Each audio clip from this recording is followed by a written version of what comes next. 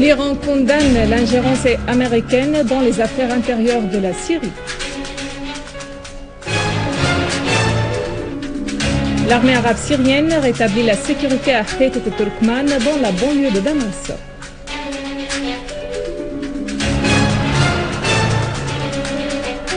Au Liban, un tué et huit blessés dans des accrochages à Tripoli.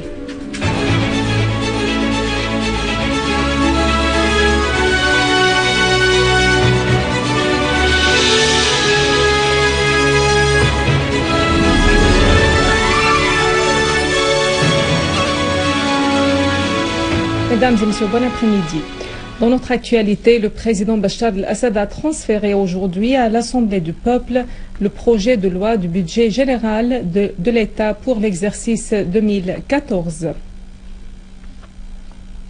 Le ministre russe des Affaires étrangères, Sergei Lavrov, a estimé que la coopération russo-américaine concernant la crise en Syrie démontre que la mission est très difficile mais complètement applicable.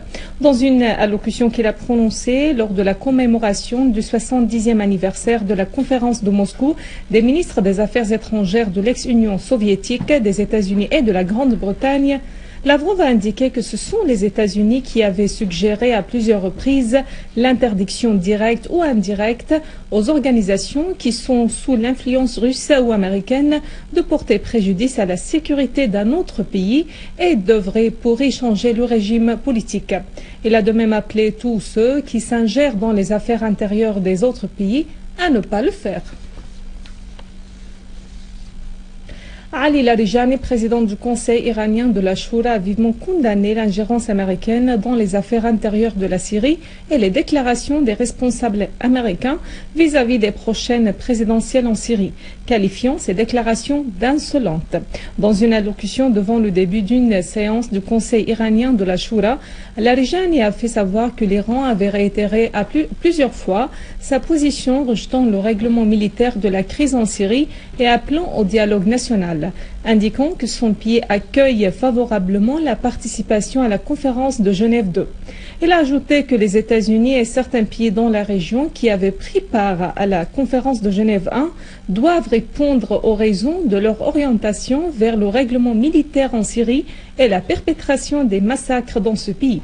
Larijani a fait noter que certaines parties qui voulaient faire chuter l'État syrien qui fait face à l'entité sioniste ont envoyé les armes et les fonds aux gangs terroristes en Syrie, soulignant qu'ils avaient échoué dans la réalisation de leur objectif après deux ans et demi du ravivage des conflits.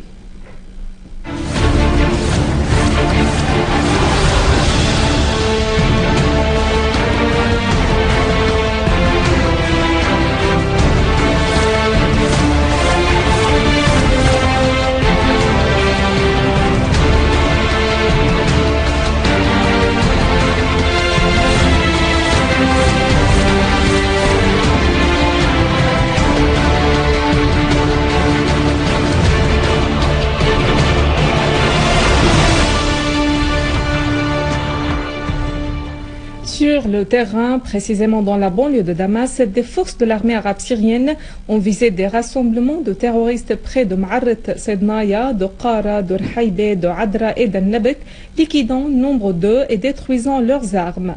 Les forces de l'armée ont également contrôlé la plupart du village de Htaytet at-Turkman, traquant les, les terroristes au nord du village et neutralisant nombre d'eux. Des unités de l'armée arabe syrienne ont saisi lors de la traque des groupes terroristes dans le quartier de Barzé un tunnel de 110 mètres de longueur et de 5 mètres de profondeur. Une source responsable a fait savoir que ce, tunnel s'étend sous la route de l'hôpital de Tishrin à partir de l'une des anciennes maisons jusqu'à l'ouest du bâtiment de la chaîne d'Atarbawiya Souria, soulignant que ce tunnel a été utilisé par des terroristes pour se déplacer, stocker et acheminer leurs armes. La découverte de ce tunnel a eu lieu après quelques jours de la découverte d'un autre de 300 mètres de longueur et 10 mètres de profondeur s'étalant sous l'autoroute de Damas-Homs entre la ville de Harasta et les fermes d'Al-Qaboun. En outre, des unités de l'armée arabe syrienne ont abattu tous les éléments des groupes terroristes armés lors des opérations réussies exécutées contre leurs repères et rassemblements dans la banlieue de Damas. À Dar'a, des unités de l'armée arabe syrienne ont lancé des opérations militaires contre les caches des groupes terroristes armés dans les quartiers et les villages de Dar'a, leur infligeant de lourdes pertes. En fait, une unité de l'armée a détruit plusieurs tunnels s'étendant entre le club du sport, le bâtiment d'Abu Khseba, la rue d'Assad et le camp. D'autre part, plusieurs terroristes ont été tués dans, certains quartiers de Daraa.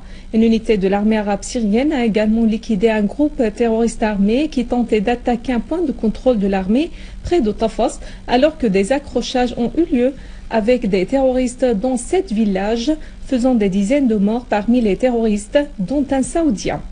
De même, l'armée arabe syrienne a détruit deux véhicules chargés d'armes et de munitions, alors que 12 terroristes ont été tués dans l'explosion d'un engin alors qu'ils tentaient de le planter à l'entrée de la ville d'An-Namr dans la banlieue ouest de Daraa.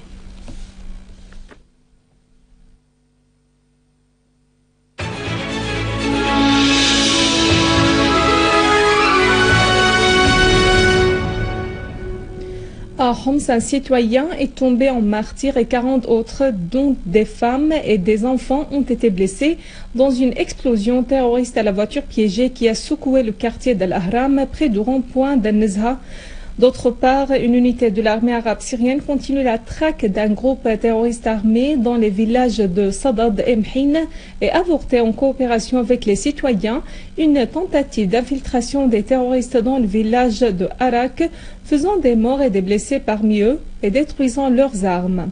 De même, les forces de l'armée ont infligé de lourdes pertes au rassemblement des terroristes à Bab Houd et dans les villages de, Dar el-Kabira et Al-Khalidiya et procédé à la destruction de leurs véhicules chargés de munitions.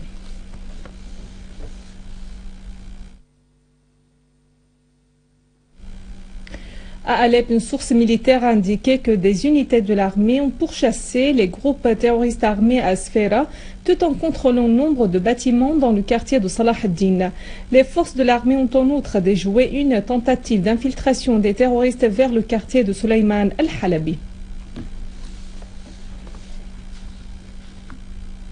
Des forces communes irakiennes sous la supervision, directe du ministre irakien de la Défense et du chef d'état-major de l'armée ont déclenché une offensive sur les foyers et les repères du réseau d'Al-Qaïda dans les régions de Hana et Al-Fallujah, dans le gouvernorat d'Al-Ambar et celui de Salah ad-Din, ainsi que sur la rive droite du gouvernorat de Ninive, en plus des banlieues nord-ouest de Diyala.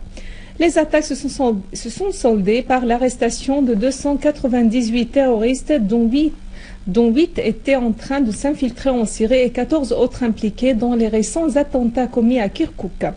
Les forces irakiennes ont également trouvé 8 caches d'armes et d'explosifs, 9 voitures piégées, deux ateliers pour la fabrication des engins explosifs. À Bagdad, une force de commandement des opérations communes a saisi une cache d'armes dans la localité de Bayar, contenant des dizaines d'engins explosifs, des fusils de plusieurs types, des ceintures bourrées d'explosifs et une grande quantité de matière extrêmement explosive.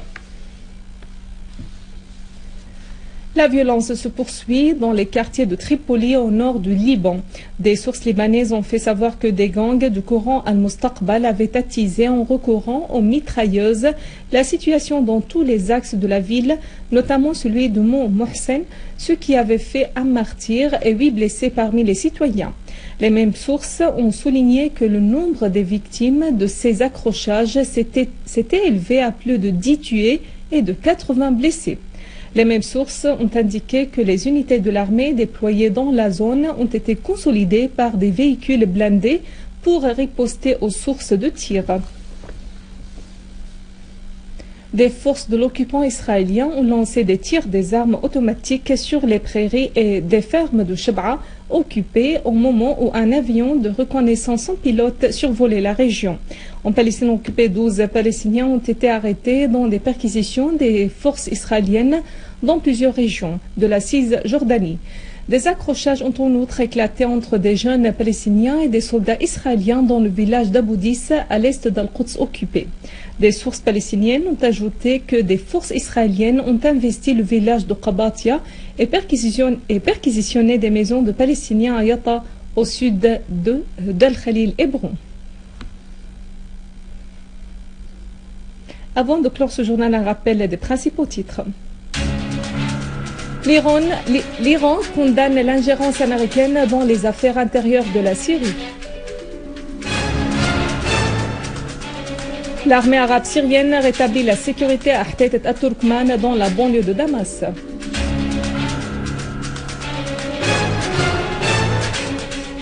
Un tué, huit blessés dans des accrochages à Tripoli au Liban.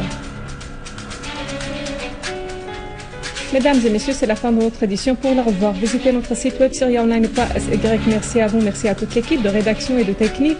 Au revoir.